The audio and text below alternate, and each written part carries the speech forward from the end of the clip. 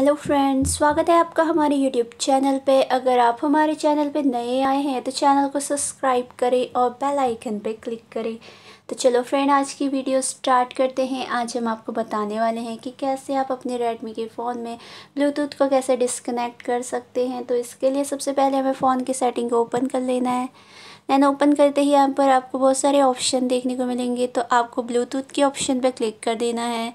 Then click करते ही आप देख सकते हैं जो आपका ब्लूथ ब्लूटूथ है, वो कनेक्ट होगा। तो आपको इसे डिसकनेक्ट करने के लिए इसकी राइट साइड के एरो पे क्लिक कर देना है।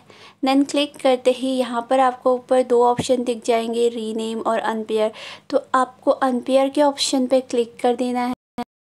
देन क्लिक करते ही जो आपका ब्लूटूथ है वो डिसकनेक्ट हो जाएगा। तो फ्रेंड आपको वीडियो पसंद आई हो तो चैनल को सब्सक्राइब करें।